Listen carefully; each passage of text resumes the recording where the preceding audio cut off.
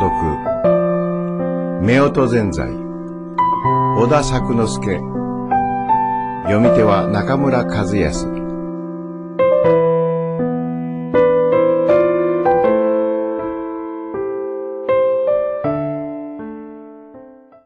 夫婦善哉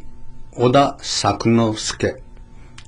年中借金取りが出入りした。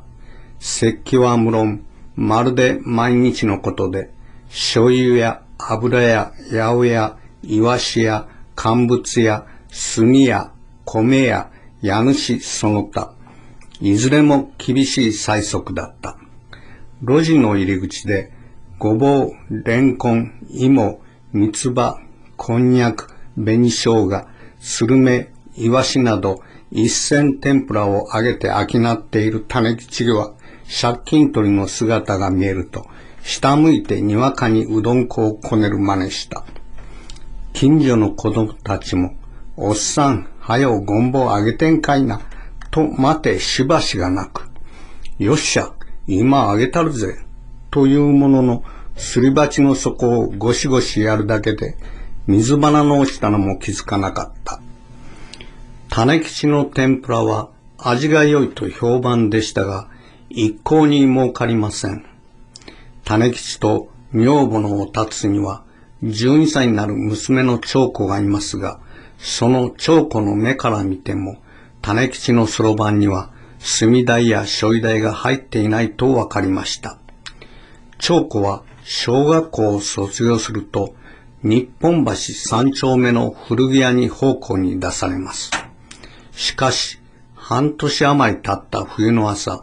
種吉は長子の手が赤切れで血が滲んでいるのを見て、慌てて連れ帰るのでした。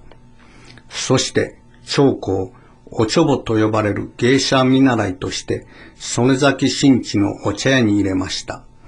種吉の手には50円の金が入りましたが、それも店の借金で見る間に消えてしまいます。17歳になった長子は父親の反対を押し切って、晴れて芸者となりました。声自慢で、お座敷の襖紙が震えるほど声を張り上げて歌い、おてんば芸者として引っ張りだこでした。ところが、旦那選びにしくじります。馴染みの客の中で、出会って三月で、もうそんな中になったのは、これやす隆吉。年は三十一。女房と四つになる子供があり、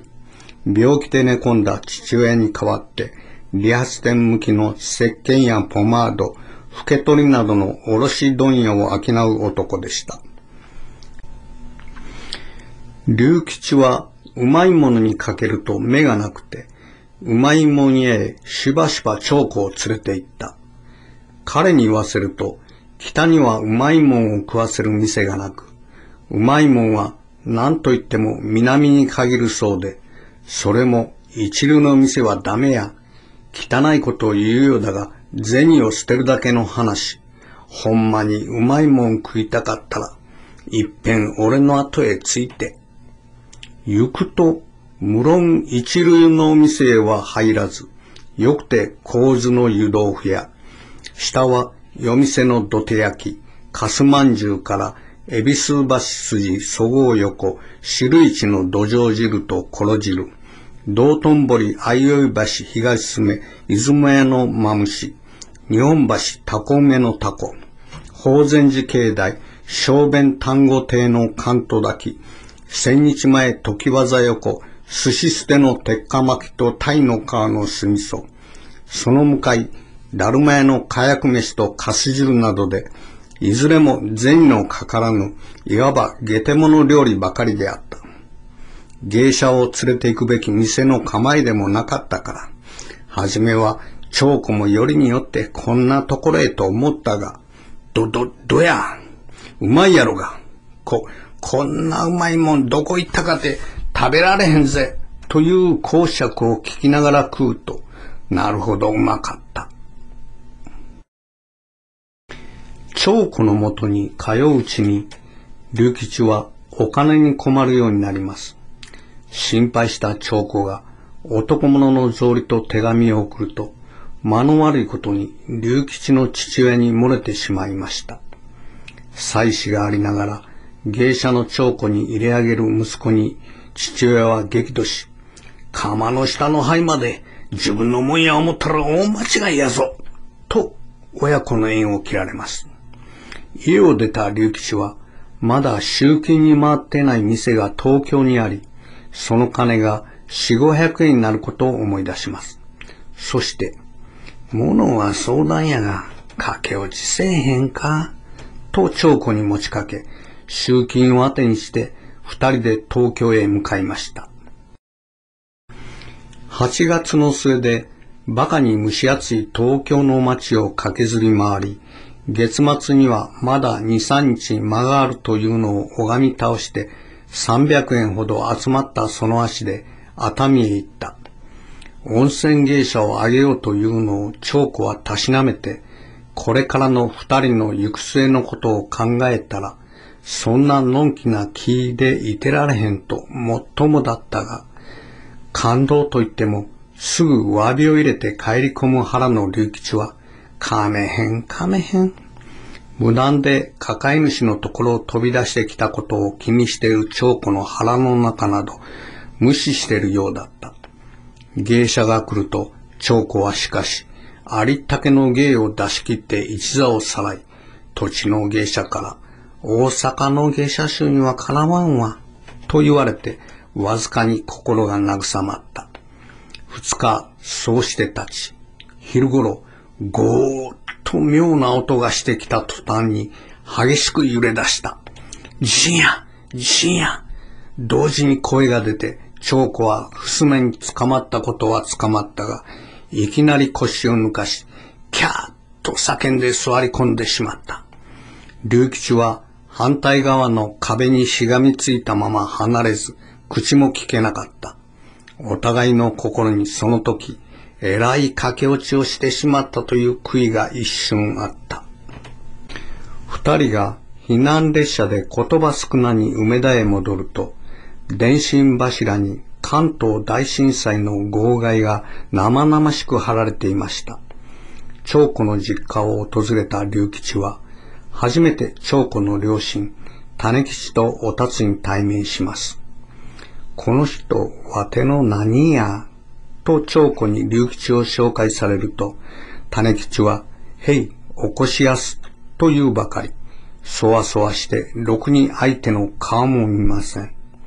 おたつは、娘の顔を見た途端に、浴衣の袖を顔に当てて泣き出しました。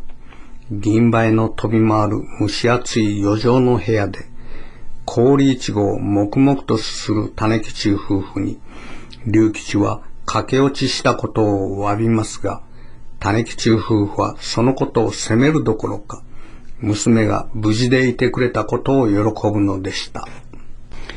母親の浴衣を借りて着替えると、長子の腹は決まった。一旦蓄電したからには、おめおめ抱え主のところへ帰れまい。同じく家へ足踏みできぬ竜吉と一緒に苦労する。もう芸者やめますさ。との言葉に、種吉は、お前の好きな絵にしたらええがな。子に甘いところを見せた。長子の前借りは300円足らずで、種吉はもはや月賦で払う腹を決めていた。わてが親父に無心して払いますさ。と竜吉も黙っているわけにはいかなかったが、種吉は、そんなことしてもろうたら困りまんがな、と手を振った。やがて竜吉と長子は、黒門市場の路地裏の2階を借りて書体を持ちますが、たちまち暮らしに困り、自然と長子がヤトナ芸者として働きに出ることになりました。ヤトナとは、臨時雇いで宴会や婚礼に出張する芸者兼仲居のこと。見入りの割にはきつい仕事でしたが、長子は必死に働きます。龍吉はそんな長子に一日一円の小遣いをもらい、のらりくらりと暮らしていました。龍吉は二十歳の長子のことをおばはんと呼ぶようになった。おばはん、小遣い足らんぜ。そして三円ぐらい手に握ると、昼間は将棋などして時間を潰し、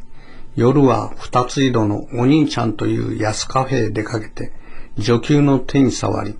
僕と共鳴せえへんか？そんな調子だったから、おたつはあれでは長子がかわいそうやと種吉に言いしたが、種吉はボンボンやから当たり前のこっちゃ。別に竜吉を非難もしなかった。どころか、女房や子供捨てて二階住まいせんならん言うのも、いやー言うもんの、長子が悪いさかいや、と帰って同情した。年も暮れ、竜吉は実家に正月の紋付きなどを取りに行きました。しかし、竜吉の父親は寝床の中から竜吉を見るなり、何しに来たと怒鳴りつけます。そして、竜吉が長子と所帯を持ったと聞くと嘲笑し、長子についてひどいことを言います。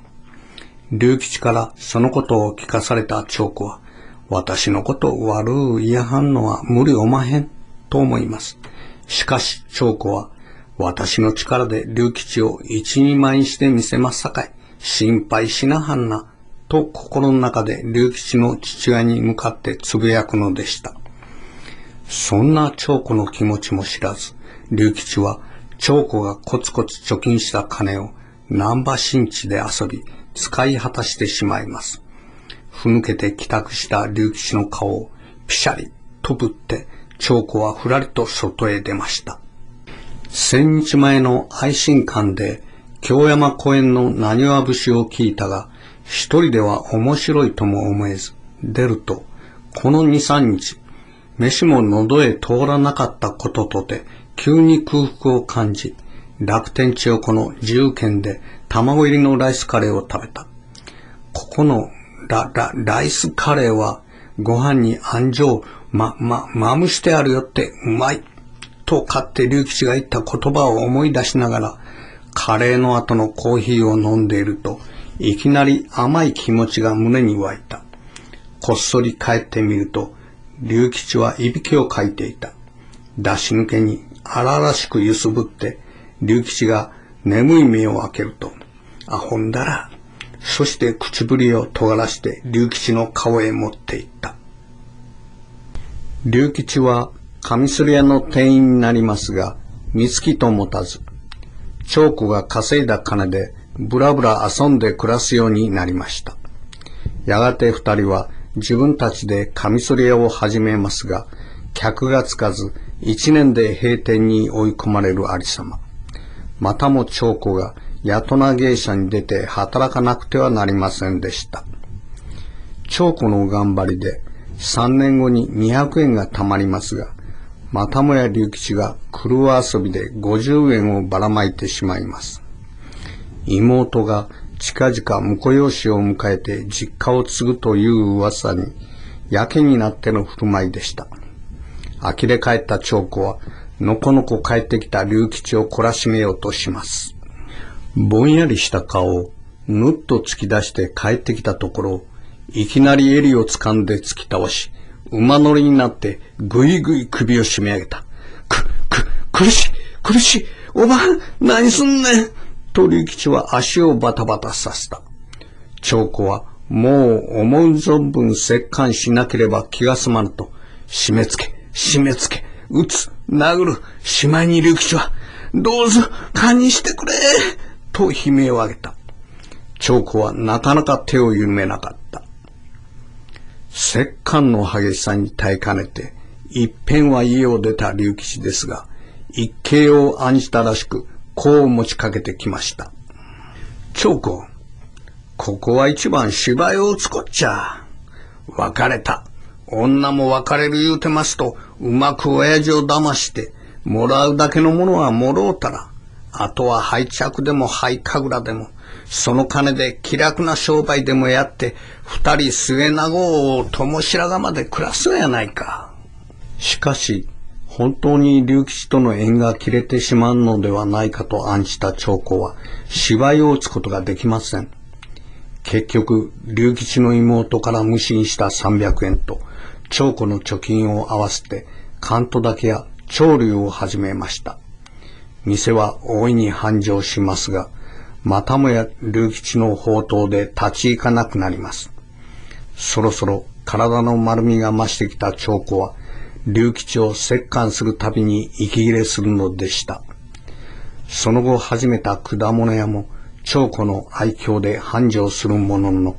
竜吉が腎臓結核で入院し、看病のため店を畳まざるを得なくなります。ある日、竜吉の妹が12、3になった竜吉の娘を連れて病院に見舞いに来ました。妹は長子に、ねえ、藩の苦労はお父さんもこの頃ようしてありますせ。よう尽くしてくれとる。こない言うてあります。と言って、長子に金を握らせます。十年辛抱して、やっと竜吉の父親に認めてもらえたと、長子は考えもひとしおでした。退院した竜吉は、湯崎温泉へ養生に行きます。長子は、やとなで稼いで仕送りしますが、こともあろうに竜吉は、養生先で芸者を挙げて散財していました。たびたび妹に無心したばかりか、密かに娘を呼んで名所見物などしていたと知り、長子は逆上し、部屋のガラス障子に杯を投げつけました。その後、大阪に戻った二人は、サロン潮流と名付けたカフェを開きます。長子は、ちゃんと商売するようになれば、竜吉の父親も偉い女だと褒めてくれ、天下晴れての夫婦になれるだろうと思ったのです。やがて店は大繁盛します。半年後、竜吉の父親が亡くなりました。長子は父に自分たちを夫婦として認めてもらいたかったのですが、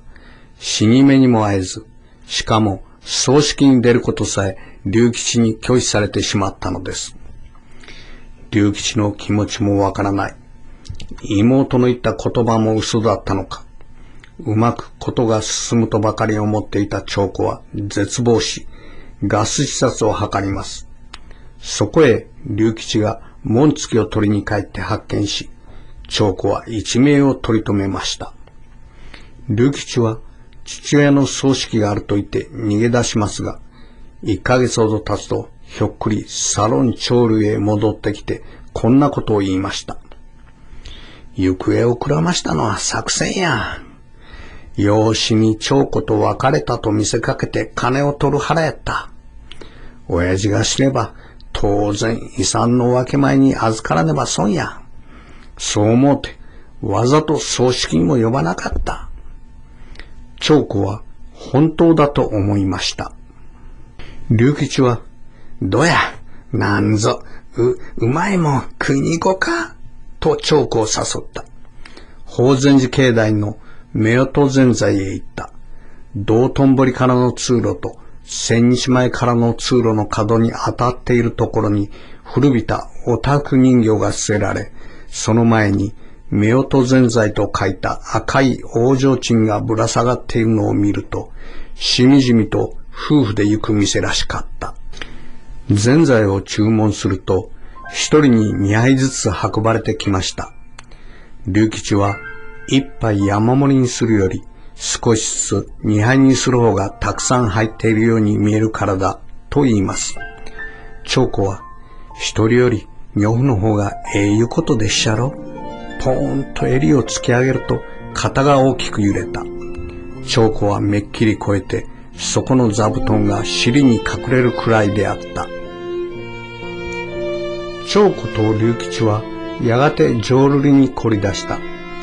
二つ井戸天牛書店の二階広間で開かれた杉大会で、龍吉は長子の三味線で大樹を語り、二等賞をもらった。景品の大きな座布団は長子が毎日使った。